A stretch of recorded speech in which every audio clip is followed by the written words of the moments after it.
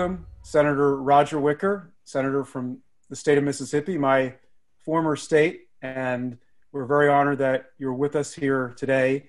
Uh, Senator Wicker is the chairman of the Senate Committee on Commerce, Science, and Transportation. And Senator, as a member of the Senate and a retired lieutenant colonel in the U.S. Air Force Reserve, what brought you to the topic of name, image, and likeness? Why is this one that you've sort of weighed in on and become a leader on? Well, um, you know, a, a, lot of things perk up from uh, from the states, and that's really how it ought to be in the federal system.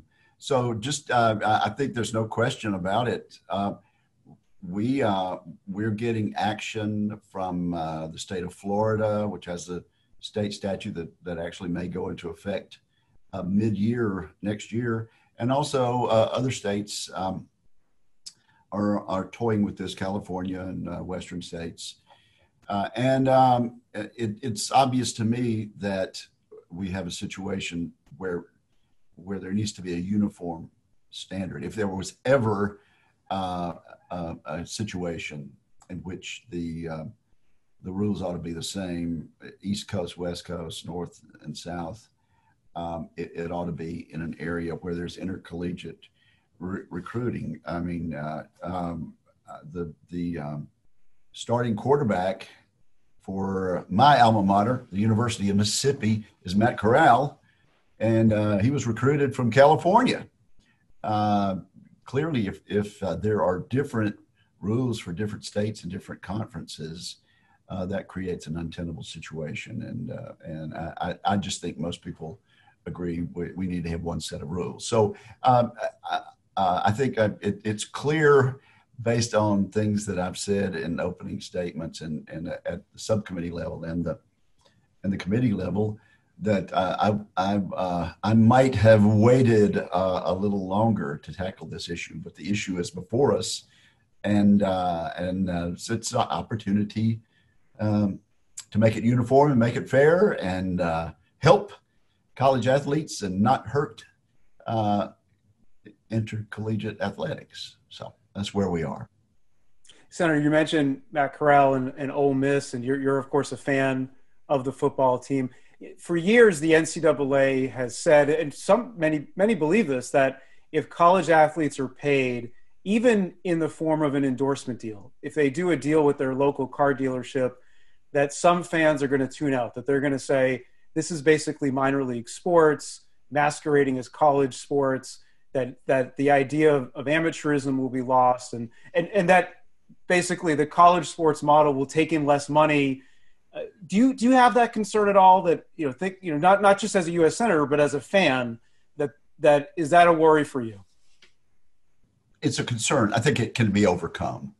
Uh, yes. Uh, uh let me just say that things are I, I started college in 1969 and i know looking at me you uh, I'm sure you can't possibly believe that, but uh, uh, it was the it, things were different back then, uh, and and the times have changed. I mean, this is a multi-billion dollar um, industry, and um, and and I, I think the fans are gonna are gonna stay. I, I think we need to be concerned that um, that education not be harmed. Um, and and I think we need to acknowledge also that uh, even without moving to name, image, and likeness compensation, that um, most intercollegiate uh, athletes uh, do very much benefit from their ability to play college uh, sports. Uh, I mean, uh, a, um, a, a, complete full scholarship and other benefits, um, housing, things like that um, are are important. And so, you know, when I talk to uh, athletes that say have been out of the game now for some 20 years, they didn't play um, in the in the pros and didn't um, uh, uh, didn't really go beyond, or at least not for very long. Uh, most of them will tell you, I, I, I, gained quite a bit. It was a, was a wonderful benefit to me and the fact that I had a scholarship at Mississippi State University, got a free education there, got uh, um, a, a, chance to play on national television and and, uh, and and participate in something really really big and something special that a lot of people care about is a is a benefit. So we need to acknowledge that also. But you know we are where we are, and um, and, and, and though I may have come to this reluctantly, uh, I'm I'm there and uh, and I'm acknowledging that this is something we need to tackle. It needs to be done. It needs to be fair, and that we need to figure out a way fairly for college athletes to be um, to be compensated. Senator, do you view this topic as more of an issue of economic freedom, economic liter- uh, liberty, sort of the American way, or is it more a matter of civil rights? We know that the two sports that generate the most revenue football and men's basketball have a high percentage of African American players. Do you view it as either or? Do you view it as both? I'm wondering how you, you know, view name, image, and likeness within that that discussion point. Well, can we just view it as a matter of fairness, um, and also um, um, even-handedness uh, across the country at this point? Uh, that I, I think that the argument has been made and is carrying the day that it's unfair for uh, a university to make tons and tons of money and not compensate the players. Uh, that it's unfair for uh, for networks to make tons and tons of money. I mean, this is big. That this is a big business, and and we uh, we know, and and a and a college athlete realizes, particularly at the at the basketball and football level, uh, that's what they were looking for. They they want to be on TV, and they know that uh, that TV uh, networks uh, make make a lot out of this. I think we also, though, need to be careful to remember that these are folks right out of high school. I mean, a, a freshman uh, at, uh, at a at a major Division One university, they're they're thrust into um, um, um, a, a, mighty big uh, playing field uh, and on a mighty big stage. And whatever we do n- needs to take into account. It's hard enough for a senior in college who's got an agent and who's trying to get in the pros. It's hard enough for them because still they're young. Um, but someone in, in high school uh, looking at uh, at a major NCAA program, uh, there need to there need to be protections for them. Senator, you mentioned agents. Uh, who's going to oversee the agents when they go on college campuses? Right? That's that's a it's it's not something that's been resolved. We've heard that maybe the Federal Trade Commission will take on that authority. Maybe there will be some other commission that's run in part by the House of Representatives and the executive branch. We, you know, maybe the NCAA, maybe it states okay. a sense of the right, you know, the right. We don't want it in Congress. We sure don't want to run. we pass the laws and let somebody else administer them, and that's a basic tenet of our uh, of our civics. So no, uh, the Congress won't will not be running it. Um, and and I'll tell you, um, the conferences don't want it. Um, I, I, don't think they all speak in, in one total voice, but uh, they don't want it, and and and there's much opposition to the NCAA uh, running this sort of thing. I mean, they, they they have a purpose, and they've got their hands full. Um, so I, am looking at a piece of legislation uh, that that we're still um, refining at the staff level here uh, in my office and on my committee that would create um, a, a, newly created body under the jurisdiction of the Federal Trade Commission. Um, and, and they would have uh, enormous um, latitude to, um, to, to set this policy and to, um, make it begin to work under, under um, some, some parameters that we would set for them. The FTC doesn't have enough personnel and they do not have enough time to do this themselves. But decisions um, uh, made uh, by the participants under the rules of, of this body, un, under the FTC, would uh, eventually be uh, subject to uh, review, much as the Supreme Court uh, of the United States reviews only a few things, but they have ultimate jurisdiction over all the courts. Thank so you, that's, that's, the concept I'm looking for. I'm looking for a new entity that isn't there now.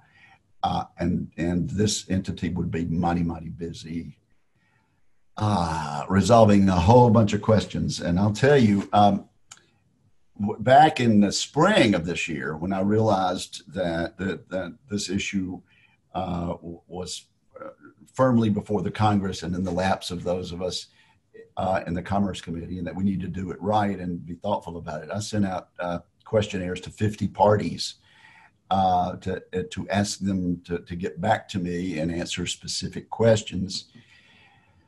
Um, and and I, I think I'm, I'm, i think I'm correct there. Um, I, uh, I, I, believe the last hearing I had, I um, entered those um, the the responses um, uh, in in the record, so that that it's in the uh, in in a hearing record that this committee has had. But but we've got a bunch of um, we got a bunch of questions to answer. I mean, uh, uh let me just.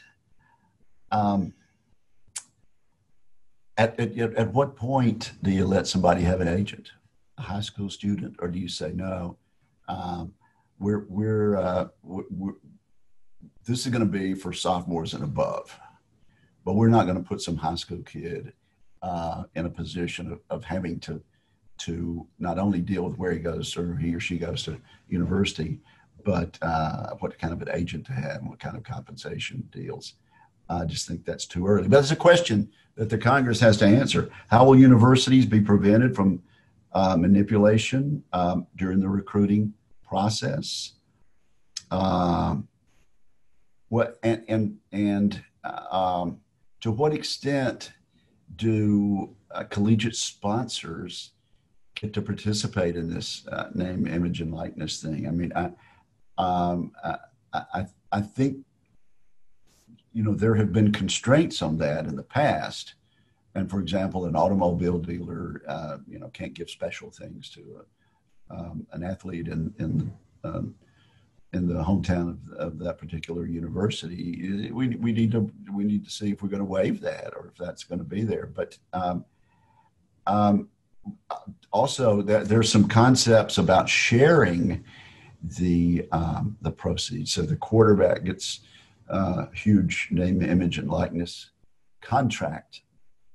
And um, uh, does he does he keep all of that himself, or uh, is there some uh, regulation that he must share that with the lesser known members of the team? There's uh, senators have approached me with that concept, and so uh, for for our listeners and our participants today, these are all um, questions that are yet to be determined. And you know, I, will tell you, when I was a boy at Ole Miss, I never heard of a, a transfer portal. Um, but uh, now, you know, it's um, some player gets unhappy with the coach mid-year, they enter the transfer portal, and there you are. Well, um, is um, it is a potential better deal on uh, on NIL advertising uh, and our NIL compensation uh, going to have uh, uh, many, many more people entering the transfer portal to get to a, a richer media market. It's all sort the sort of things that need to be discussed. And once we decide we're going to do it, and I think we are going to do it, um, to what extent does the Congress make these decisions right off the bat? Or do we leave a lot of leeway to um, thoughtful and talented and well advised members of this new entity that I would create? Um, there's, there, there are just uh, a myriad of questions that need to be um, reviewed and considered. But, but I can just tell you, um, we're, we're, nowhere near um, a consensus, in my view, um, about how to approach this. But we're going to approach it, and some decisions will be made. at what level they'll be made is uh, is a good question. Senator Wicker, you, you mentioned earlier that Florida's statute goes into effect next year in July. Four other states have passed NIL statutes. A number are contemplating them as well. The, the, the clock is ticking, you might say, for Congress to act. And we don't know uh, how the executive branch will uh, react unless you have insight you know on that uh, would would president trump or president elect biden or would they go along with uh, what what members of congress come up with? What, what, do you feel like that's going to be a pressure on that's certainly, that's certainly how a bill becomes a law. Um, I, I, would think though um, whatever comes out of the congress is going to be bipartisan. Um, regardless of who has control uh, in the Senate, uh, and that it, it, it could, the Senate could be evenly split 50-50 or, uh, or as much as 52-48. Uh, Re- regardless, the way our rules work now, we don't pass anything like this without consensus. And, uh, and so it, whatever would come to the president's desk um, would, would be something that had, had widespread support among Republicans and Democrats. You know, the another issue that's out there uh, and might be treated differently depending on who has the majority uh, would be the issue of uh, unionization, organization of intercollegiate a- athletes. There's some people that would go that far. I, I would have major reservations myself. And, and I think, uh, boy, I think most uh, colleges and universities, even even those um, that are are considered uh, uh, left leaning, um, would have major concerns about uh, at college athletes having been given a scholarship and having u- union rights, um, much as faculty members might. Uh, it's a it's a bridge I don't want to tread on. But the NIL piece, so let's just setting us. I know what you're saying. The the broader providing labor rights would be very contentious. Some people would put would some people would would make that a part of an NIL bill. That's the point. And do you think? I guess so. So will that ultimately doom NIL? That there's going to be other pieces of of the legislation that you and, and Republican colleagues and, and I imagine some Democratic colleagues might not go along with. I think it would um, would be a, a major um, a major drag on um, on our efforts to get um, to get a comprehensive bill. You know, there there um, there are also people who w- would not um, permit us to uh, to preempt state laws. Uh, you know, on, honestly, if we if we can't have a, a, uniform standard, I don't see the point in, in uh, going through this exercise. To me, a college recruit uh, in Mississippi um, ought to be uh, able to be recruited uh, by Boston College or Southern Cal or, um, uh, or, or Washington State under the same rules. And it, to me, I just think that uh, I, I, think uh, the vast, overwhelming majority of um, of sports fans and Americans and parents and educators all around the country would agree with with that concept. There needs to be in in the National Athletic um, uh, Collegiate Athletic Association. It, it needs to be a national rule. And do you think, as part of that national rule, there should be an antitrust exemption? As you know, colleges and conferences are competing businesses. They fall under the scope of Section 1 of the Sherman Act. The NCAA, uh, from what is known, has lobbied for an exemption. But of course, that's controversial, right? Because if if a restraint is reasonable, it wouldn't be found unlawful under Section One of the Sherman Act. So, uh, what, what are your what are your thoughts on the possibility of antitrust exemption? I, I think when we start um, tampering with the status quo, there uh, it it makes it harder. So, in in, th- in that regard, we need to leave things as they are. That would that would be um, my judgment, un- unless I'm persuaded otherwise. But uh, really, we we're uh, we're open to a lot of suggestion here. Um, but the clock is ticking, and, um, and, and we need to move. As a matter of fact, um, I wouldn't rule out um, something passed in the lame duck. I think a lot of things would have to come together, but we do need to act quickly. And I will tell you, uh, you get to January and you get to an inauguration and then sort of a honeymoon period there. We don't have much time. Um, and, um, and, and um, it, so I, I, I, I'm, uh, I am intent during the months of November and December 2020 on uh, continuing to work on this issue and trying to reach a consensus. Well, Senator Wicker, thank you very much for your time. We know how busy you are, especially with everything going on uh, in Washington, and we're grateful that you spent some time with us today. Well, thank you much. I don't know if I've told you much, but maybe I've outlined some uh, some parameters of, of uh, the questions for the debate coming forward. You've been very helpful. We appreciate it. Thank you so much. Thank you.